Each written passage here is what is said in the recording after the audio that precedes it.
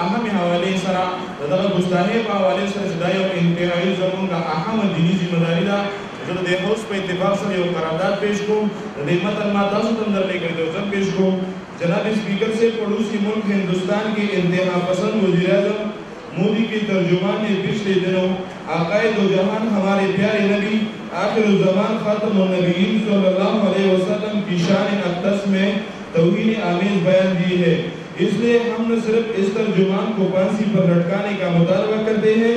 बल्कि पाकिस्तानी हुकूमत और अवाम दोनों से मुतालबा है कि हिंदुस्तान से हर तरह की तजारत का बाइकाट और इनकी मसनूआत का इस्तेमाल तर्क किया जाए और दुनिया के हर फोरम पर इस मसले के खिलाफ आवाज़ उठाकर मोदी सरकार के इन नाफाक अजायम को नाकाम करे। मेरी शिकायत पटोलना सर वही हमारे मुतहद है।